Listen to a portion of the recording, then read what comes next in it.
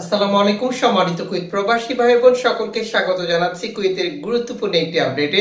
ঠিক এই মুহূর্তে আপনি কুয়েতের কোন মন্তাকা থেকে যুক্ত হয়েছেন, সকলের প্রতি বিনীত অনুরোধ থাকবে।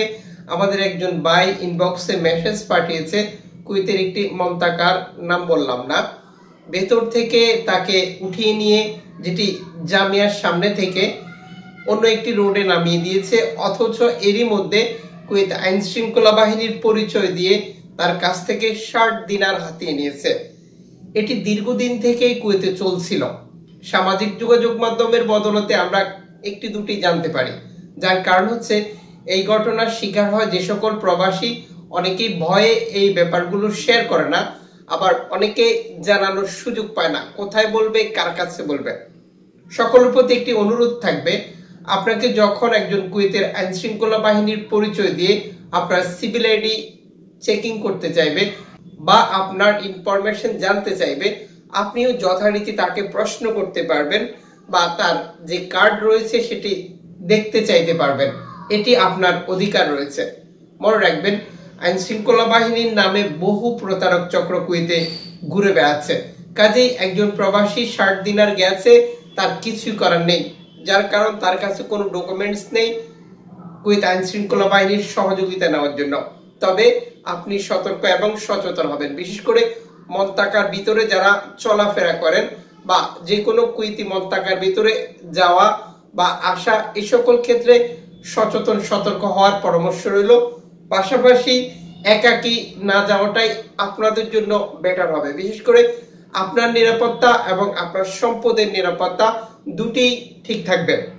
With public authority for man power with public authority for man power civil information সর্বশেষ এক টুইট বার্তায় নিশ্চিত করেছে কুয়েত আইডি ডেলিভারি দেওয়ার জন্য তারা প্রস্তুতি সম্পন্ন করেছেন। খুব তাড়াতাড়ি পাবলিক অথরিটি ফর ম্যান পাওয়ারের ওয়েবসাইটে সেটি ঘোষণা করা হবে, যেটি হোম ডেলিভারি যারা বক্সে যেতে পারেন না বা সেই সময় নেই বা অনেকের মন্দুপে সিভিল আইডি সংগ্রহ করে দেয় না, তারাও হোম ডেলিভারি নিতে পারবেন। আর এই হোম ডেলিভারি সিস্টেমটা আপনারা অবগত রয়েছেন যে কোভিড নাইন্টিন প্যান্ডামিকের সময় কুয়েত সরকার চালু করেছিল। একটা সময় পর সেটি আবার বন্ধ করে দিয়েছে, আবারও সেটি চালুর ঘোষণা করেছে। এটি নিঃসন্দেহে ভালো একটি খবর। এদিকে public authority for man power বলেছে, প্রতিদিন তেরো হাজারেরও বেশি যেটি আকামা বা সিভিল আইডি বক্সে ইস্যু হচ্ছে। আগে আপনারা অবগত রয়েছেন যে পাঁচ মাস, ছয় মাস, এক বছর কেউ বা আরও বেশি সময় সিভিল আইডি হাতে পেত না।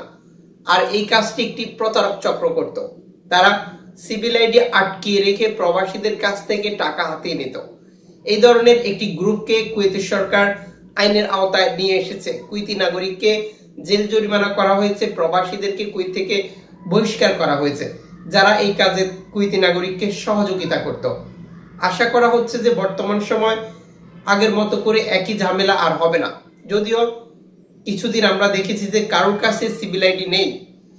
ইনফরমেশন যেটি কুইথ মোবাইল আইডি দিয়ে চালিয়ে যাচ্ছিল কিন্তু হাতে সিভিল আইডি পাচ্ছিল না।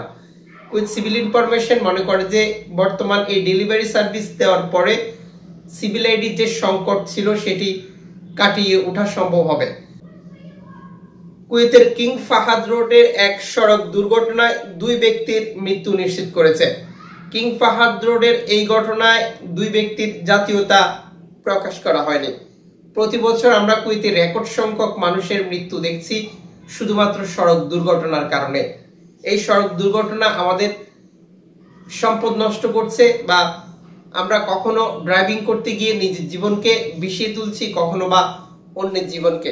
এ সকল পরিস্থিতিতে সচেতন, সতর্কতার বিকল্প কারোর সামনেই খোলা নেই। দর্শক, ভিডিওতে একটি লাইক দিন, আপনার মতামত কমেন্টস করে জানিয়ে দিন, এই ইনফরমেশনগুলো শেয়ার করে দিন, আমাদের বাকি রেমিটেন্স যোদ্ধা ভাই ও বোনের সাথে, যাতে করে অন্যরাও এই আপডেটগুলো থেকে লাভবান হতে পারে। আর আমাদের সাথে যুক্ত থাকুন কুয়েতের তত্তাজা আপডেট ইনফরমেশন সবসময় সবার আগে জানতে।